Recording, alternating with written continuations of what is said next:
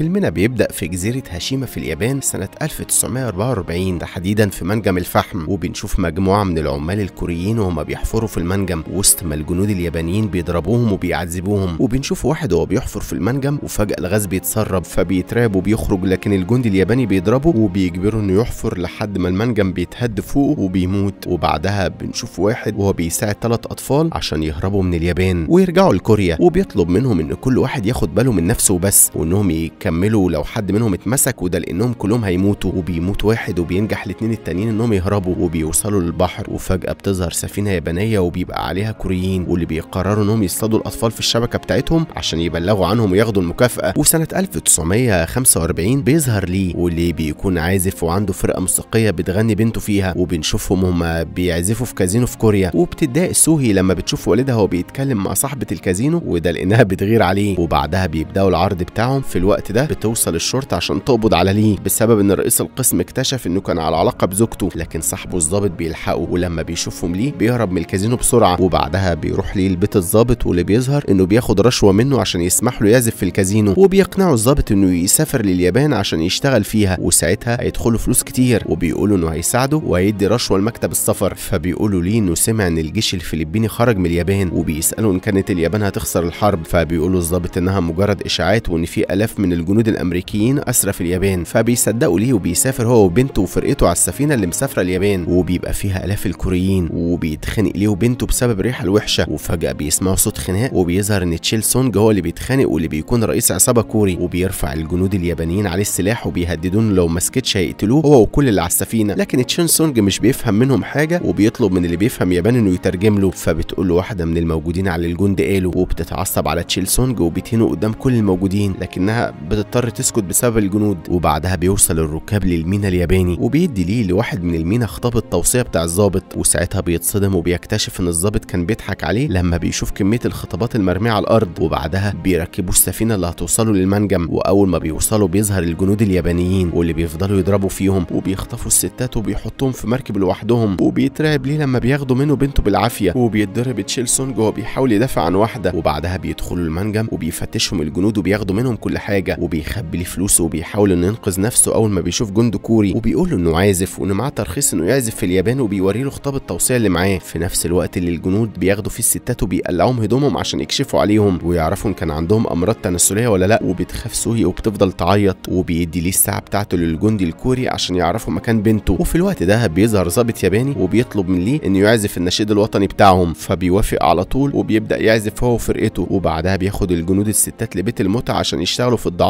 ويعملوا علاقات مع الجنود اليابانيين. وبيوصل مدير المنجم وبيحيي كل اللي وصل من كوريا. وبيقول لهم إنه هيديهم شرف المشاركة في الحرب لصالح الجيش الإمبراطوري. وبنعرف إن المنجم موجود من 50 سنة وإنه يعتبر المورد الأساسي للفحم في اليابان كلها. وبيبدأ الجنود يجهزوا الكوريين وبيقلعوهم هدومهم وبيحلقوا لهم شعرهم. وبعدها بيعرفوهم إنهم هيدفعوا رسوم السفر والخدمة والهدوم والأكل من الأجور بتاعتهم الشهرية. وإن القبض بتاعهم ما كفاش ساعتها هياخدوا من القبض اللي بعده. وبيظهر إن المكان اللي هم فيه غير آدمي. حتى الأكل بيبقى فيه حشرات وبعدها بنشوف المسؤول الكوري وهو بيضرب واحد وبيكسر النضارة بتاعته فبيدافع تشيل سونج عن الشاب وبيقول للمسؤول إنه مجرد ولد صغير. وفي الوقت ده بيظهر الضابط الياباني وبيسألهم عن اللي بيعملوه فبيطلب تشيل سونج من ليه إنه يترجم كلامه وده لإنه بيعرف يتكلم ياباني فبيوافق ليه وبيقول الضابط كلام تشيل سونج واللي بيكونوا عبارة عن إنه هيتعارك مع المسؤول الكوري بطريقة الساموراي ولو هو اللي كسب ساعتها هو اللي هيبقى مسؤول عن الكوريين ولو خسر هيبقى تحت رئاسة المسؤول الكوري فبيتبسط الضابط الياباني. بالاقتراح وبيوافق وبيبدأ تشيل سونج يتخانق مع المسؤول الكوري وبيفضل يضربه لحد ما بيكسب وبيجرح وشه بالآلة اللي معاه. في الوقت ده بيوقفه يون واللي بيظهر إنه أكبر واحد في المنجم وإنه شخصية مهمة وبيقول تشيل سونج إن اليابانيين عايزينهم يتخانقوا مع بعض وكل ما اتقتلوا كل ما بقوا عبيد بين إيديهم. لكن تشيل سونج مش بيقتنع وبيقول له إن الحقير ده مش كوري زيهم وبعدها بيطلب من الضابط الياباني إنه يساعده إنه يبقى مسؤول عن الكوريين. فبيضحك الضابط وبيطلب منه يروح معاه المكتب وبنشوف سوهي وهي مع باقي الستات الكوريين وهم قاعدين مع مدير المنجم وباقي الضباط وبتخاف إن حد فيهم يلمسها وبتتفاجئ لما بيشغلوا الأغنية بتاعتها وبتطلب من واحدة إنها تترجم كلامها وبتقول لهم إنها صاحبة الأغنية وبتبدأ ترقص قدامهم عشان يصدقوا وبتحيي الامبراطور وهي بتعيط فبيعجب مدير المنجم بيها وبيطلب ليه والفرقة بتاعته. وبعدها بيظهر بارك مويونج واللي بيكون ضابط في جيش التحرير الكوري في الصين. وبنعرف إنه متفوق جدا لدرجة إنه حصل على درجات أعلى من الأمريكيين في عملية التسلل لسيول عاصمة كوريا. وبنشوف بارك وهو في مكتب رؤسائه. وبيعرف منهم إنهم محتاجين يحرروا كوريا في أسرع وقت وإنه الوحيد اللي هيقدر يحل الصراعات دي هو يون وده لأنه كان بيتولى جمع الفلوس في الحكومة الكورية المؤقتة. لكن اليابان قبضت عليه من سنتين ونشروا خبر إنه مات لكنهم اكتشفوا الحقيقة وهو إنه لسه عايش وموجود في منجم هاشيما في اليابان. وبيطلبوا من بارك إنه يروح المنجم ويرجعه. وبنشوف ليه وفرقته هما بيجهزوا عشان يعزفوا في الحفلة بتاعت مدير المنجم. في نفس الوقت اللي تشيل سونج بقى مسؤول فيه عن كل الكوريين وبيوجههم عشان يشتغلوا. وبنشوف واحد من العمال وهو بيشرب السائل اللي بيطلع من الديناميت بسبب الجوع وبيوصل بارك للمنجم وبينجح إنه يلاقي يون وبيعرفوا لما بيساعده وبيوقف عربية الفحم معاه وبعدها بيكمل العمال الشغل وبيفضلوا يحطوا الفحم في العربية اللي بتنقله لحد ما بتفلت فجأة من على القضيب وبتدوس على طفل وبتقتله وبعدها بتفلت وبتسبب تصرف في الغاز وبينفجر المنجم وبيتعصب مدير المنجم لما بيعرف إن في حريق بسبب إن بيحصل حريق كتير فيه وبيعرف إن الحريق اللي في منجم اتنين اللي الكوريين بيشتغلوا فيه وبيطلب من المساعدين بتوعه إنهم يضيقوا الخناق عليهم عشان يقلل من انتشار الحريق في باقي المناجم لكنه بيتصدم لما بيعرف إن يون موجود في المنجم وبيطلب من الجنود إنهم ينقذوه بأي طريقة. وفي الوقت ده بيحاول العمال الكوريين إنهم يخرجوا من المنجم وبيطلب بارك منهم إنهم يفجروه عشان يعرفوا يخرجوا المنجم ثلاثة فبيتعصب تشيل سونج عليه لكن بارك بيقرر إنه يفجروا بالديناميت اللي مع العامل وبينجحوا في إنهم يخرجوا. وبيتصل مدير المنجم على رئيسه وبيعرفوا إن في كوريين كتير ماتوا وإنه هينقل الجرحى للمستشفى وبعدها يحرقوهم مع جثث اللي ماتوا. فبيقول له رئيس الشركة إن في قيود على عدد الكوريين اللي بيجيبهم من كوريا بسبب صراعات الحرب وانه مش هيسمح إن الشركة تخسر فلوس أكتر من كده. فبيوعده مدير المنجم انه هيحل المشكلة في أسرع وقت وبيبص على سوهي وبيعرفه إنه عنده هديه ليه. وفي الوقت ده بيسمع تشيل سونج واحدة بتصرخ بسبب إن في ياباني بيضربها وبيظهر إنها نفس البنت اللي كانت بتزعق له في السفينة. فبيدافع تشيل سونج عنها وبيضرب الياباني وبعدها بياخدها للأوضة بتاعتها وبتفكر إنه عايز يدخل في علاقة معاها لكن تشيل سونج بيرفض وبيقول لها إنه عايز يسمعها وهي بتشتكي وبس. فبتتريق البنت عليه وبتقول إنهم خطفوها وشغلوها في الدعارة وساعتها كان في بعوض بيموت أي حد يقرصه وشافت بعينها صاحبتها الصينية اللي الجنود قتلوها على المسامير وعشان كده قررت تسكت وما تقولش إنها مريضة. وبعدها خدت محلول وخفت بسبب طبيب ياباني لكن قواد كوري هو اللي رجعها تاني بعد ما هربت من الجنود اليابانيين. فبيقول لها تشيل سونج إنها محتاجة تسيطر على أعصابها وإن الأوضاع هتتحسن عاجلا أو عاجلا. وبيتفاجئ ليه لما بيطلبوا مدير المنجم وبيقولوا إنه بيفكر إنه يبعت بنته رئيس المنجم عشان يتبناها. وده لأنه فقد بنته بسبب القصف الأخير. وبيقول له مدير المنجم انهم في حرب وإن الناجين بس هم المنتصرين الحقيقيين. فبيخرج ليه من عند مدير المنجم وبيشوف بنته وهي بترقص تحت المطر فبيرقص وبيغني معاها وبعدها بيطلب مارك من ليه إنه يساعده في إنه يتحقق من طرد بعد ما بيتكلم مع يون وبيعرفه إنه هيهربه. لكن ليه؟ بيعرف إنه مخبي سر كبير وبيرفض إنه يساعده. فبيعترف بارك بالحقيقة وبيعرفه إنه هيهرب يون. وفي الوقت ده بتظهر عساكر يابانية وبيخاف بارك إن ليه يبلغ عنه. لكن مش بيعمل كده وبيكذب على الجنود اليابانيين. وبعدها بيوافق إنه يساعده لكن على شرط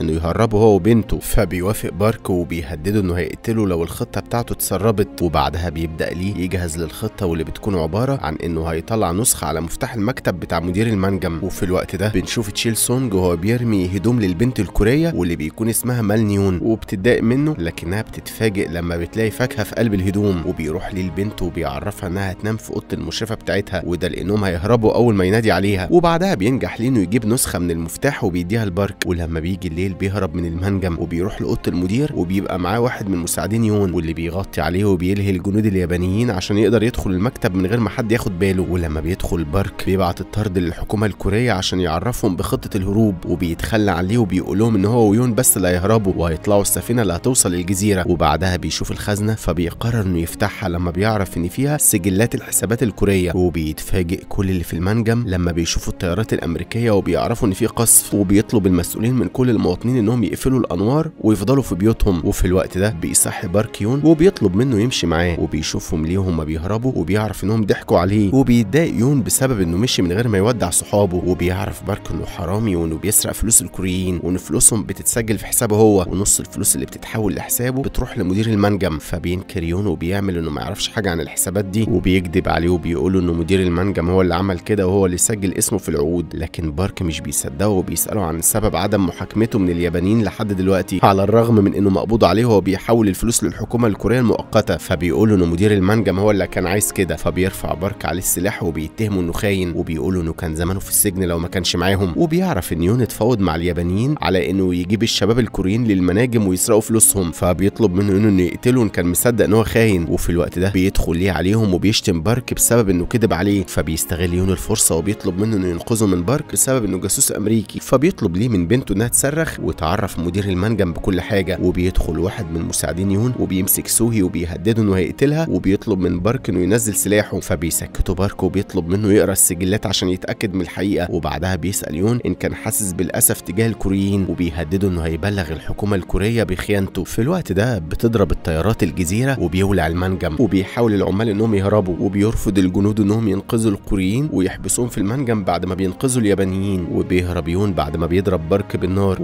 وبيترعب ليه لما بيشوف يون وهو بيقتل المساعد بتاعه بسبب إنه قرا اللي في السجلات. وبيستخبى هو وبنته عشان ما يقتلهمش هو كمان. وبيطلب رئيس المنجم من الضابط الياباني واللي بيكون اسمه يامادا إنه يصمد على قد ما يقدر. فبيتعصب يامادا وبيقولوا إن حتى المدير انهار وبيساله إن كان عايزهم يموتوا. وبيتصدم لما بيعرف إن أمريكا ضربت هيروشيما بقنبلة قوية جدا وإنه وصل عدد الضحايا ل ألف. وبيعرف يامادا إنهم خسروا الحرب بعد وفاة هتلر وانهزام ألمانيا وإنهم هيتعاملوا كمجرمين حرب. وبيطلب رئيس المنجم منه إنه يحرق أي سجلات تستخدم ضدهم وبيوافق على اقتراح يامادا وهو إنهم يقتلوا الكوريين بسبب إنهم هيشهدوا عليهم وبيقرر يامادا إنه يقتل مدير المنجم عشان يبقى هو المدير الجديد. وفي الوقت ده بيشوف ليه بارك وهو خارج من المية فبيزعق له وبيقول إنه بوظ كل حاجة. لكن سوهي بتلاحظ إنه مجروح وبتسأله إن كان حاسس بالألم وبيزعل الكوريين لما بيشوفوا الجثث بتاعتهم وهي بتتحرق قدام عينيهم وبينجح ليه في إنه يساعد بارك ويجيب له الأدوات اللي هيعالج بيها الجرح بتاعه. وبيعرف يامادا إن في طالبة يابانية اتقتلت على إيد كوريين فبيتبسط وده لأنه بقى في سبب عشان ينتقم منهم. وتاني يوم بيجمع الكوريين عشان يحاكم اللي قتل البنت وبيعترف المسؤول الكوري على تشيل سونج لكن بيظهر إنه بيكذب وبيعرف إن هو نفسه اللي قتل البنت اليابانية. وبتزعق له مال نيون وبتقول له إن تشيل سونج كان معاهم ساعة الحادثة فبيوقفها تشيل سونج وبيروح مع المسؤول الياباني بعد ما بيشتمه وفي الوقت ده بتكون سوهي مع بارك اللي بيوعدها انهم هيخرجوا من هنا وهيأكلها مكرونة وبيطلب منها تساعده في حاجة. وبينجح إنه يوصل لمكتب يامادا وبيسمعه وبيتكلم مع يون وبيعرض عليه إنه يديله كل الفلوس اللي خدها من المدير السابق مقابل إنه يخرجه من المنجم. وبيتصدم بارك لما بيعرف إنهم ناويين يقتلوا كل الكوريين بمساعدة يون. وفي الوقت ده بينجح ليه إنه يلاقي السجلات بتاعت يون. وبيرفض تشيل سونج إنه يعترف بقتل البنت على الرغم من إنهم بيعذبوه جامد وبيكهربوه. وبيشتم المسؤول الكوري وبيهدده إنه هيقطعه حتة حتة. وبيترجى ليه بارك إنه ينقذ بنته ويرجعها لكوريا. فبيوعده بارك إنه هيرجع كل الكوريين. وبيكذب يون على العمال وبيفهمهم إن اليابانيين هيعوضوهم. وهيعالجوا كل الجرحى وهيرجعوهم لكوريا. لكن بشرط إنهم يحضروا الاحتفال بتاع افتتاح المنجم بعد القصف فبيتبسط العمال جدا لكنهم بيتصدموا بكلام بارك واللي بيعرفهم إن المدير مات وإن يامادا هيموتهم كلهم لو دخلوا المنجم تاني يوم. فبيكذب يون وبيقول لهم إن بارك جاسوس وبيحاول يفرقهم لكن ليه بيدافع عن بارك وبيبقى معاه السجلات وبيحاول يون انه ينكر لكن بيبقى في واحد من العمال شافه وهو بيقتل المساعد بتاعه. لكن يون مش بيستسلم وبيفضل يدافع عن نفسه لحد ما بارك بيذبحه فجأة. بعد ما بيعرف كل العمال إنه كان خان فعلا وإنه سرق كل فلوسهم وبعدها بيسالوا بارك عن الطريقة اللي هيهربوا بيها فبيعرفهم انهم كانوا بيفشلوا بسبب إن يون كان بيبلغ عنهم وإنهم حاليا هيهربوا في سفينة الفحم. ولكن مجموعة منهم بتعترض وبتقترح إنهم يتناقشوا مع اليابانيين وده لأنهم مثقفين أكتر منهم. فبيتعصب عليهم واحد من العمال وبيقول لهم إنهم ما كانوش هيعيشوا بالطريقة دي لو كان اليابانيين عاقلين فعلا. وبيزعق لهم ليه وبيقول لهم إنه هيهرب هو وبنته وده لأنه عايز يعيش. فبيوافق أغلب اللي في المنجم إنهم يهربوا وبيقرروا إنهم يربطوا اللي رفضوا عشان ما يبلغوش عنهم. وبينجح تشيل سونج إنه يهرب بمساعدة صحابه وبيشرح بارك خطته وبيقول لهم إن اللي هيركب الأول هم الستات والأطفال والمجروحين وإن هدفهم إنهم يعبروا السير الناقل للفحم عشان يطلعوا على السفينة ويهربوا وبيبدأوا كلهم يجهزوا كل المعدات عشان يحموا نفسهم. وبتروح مال نيون لتشيل سونج وبتطلب منه يهرب معاهم فبيرفض وبيسألها إن كانت مفكرة إن 400 شخص هيقدروا يطلعوا على سفينة واحدة. فبتقول إن كلهم هيموتوا تاني يوم على كل حال. وبيهرب كل العمال من المنجم وبيتفاجئوا لما بيلاقوا الجنود اليابانيين. لكن ليه؟ بينجح في إنه يضحك عليهم وفي الوقت ده بيوصل بارك وبيقتلهم وبعدها بيوصلوا للسر النائل وبيحاول ليه إنه يطلع مع بنته. لكن الموجودين بيرفضوا بسبب انهم مش هيطلعوا غير الستات والجرحى والأطفال في الأول وبتخاف واحدة من إنها تنزل من على السر للسفينة فبيشجع واحد معاق وبيقول لها إنه ينزل في الأول وهتتأكد إنه مش هيحصل له حاجة وبينجح فعلا إنه ينزل السفينه وبعدها بتتشجع الستات وبيبدأوا ينزلوا بعده. لكن يامادا بيعرف إن الكوريين بيهربوا فبيطلب من جنوده يضربوا عليهم النار وبيترعب كل الموجودين لما بيسمعوا صوت النار وبيتزحموا على السير وبتترعب مال نيون وبيطلب تشيل سونج منها إنها تسبقه وبيوعدها إنه يحصلها ويهرب معاها وبيقع الناس من على السير بسبب التزاحم. في نفس الوقت اللي الجنود اليابانيين بيضربوا نار عليهم وفجأة بيتكسر السير وبيقع وبيتبسط يامادا جدا من الحرب وبيطلب من الجنود إنهم يقتلوهم كلهم وبيحاول الكوريين إنهم يدافعوا عن نفسهم وبيرموا الديناميت على الجنود. في نفس الوقت اللي ليه بيحاول فيه يرفع السير عشان يعرفوا يوصلوا للسفينة لكن مش بيقدر لوحده فبتساعده بنته وبعدها بيساعدوا كل الموجودين وبينجحوا إنهم يرفعوه فعلا لكن مش بالقدر بالقدر الكافي. فبيلاحظ ليه العلم وبيقطعه وبيربطه في السير عشان يرفعه بيه. وبيضرب تشيل سونج نار هو واصحابه على الجنود اليابانيين واللي بيخافوا وبيتراجعوا. في نفس الوقت اللي ليه بينجح فيه إنه يرفع السير. وبيطلع الكوريين عليه وبينطوا في المية. وبتمسك مالنيون بندقية وبتضرب نار مع تشيل سونج لكنها بتصيبها طلقة فجأة. وبيحاول تشيل سونج إنه يدافع عنها ويقتل اللي قتلها. وبينجح إنه يقتل المسؤول الكوري وبيقسمه نصين. لكنه بيتصاب بطلقات كتير وبيتأسف لمالنيون بسبب إنه ما وفاش بوعده. وبيقول لها إنها تقدر ترتاح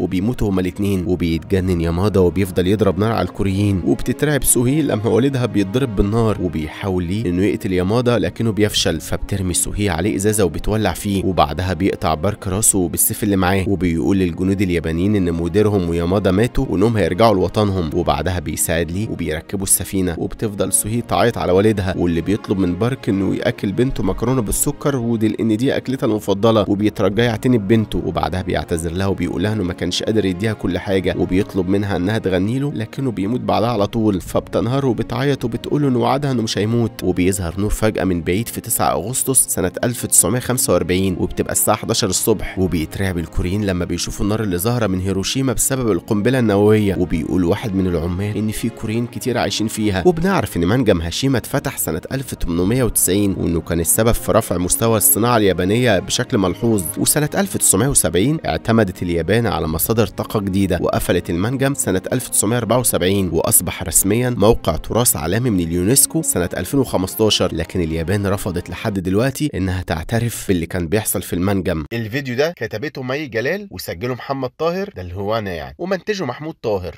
وما تنسوش تعملوا follow لصفحة فيلم في الخمسين عشان تتابعوا الملخصات الدرامية و follow لصفحة محمد طاهر عشان تتابعوا الملخصات الكوميدية و follow لصفحة هكونا مطاطا عشان تتابعوا ملخصات الأنمي والكرتون. سلام.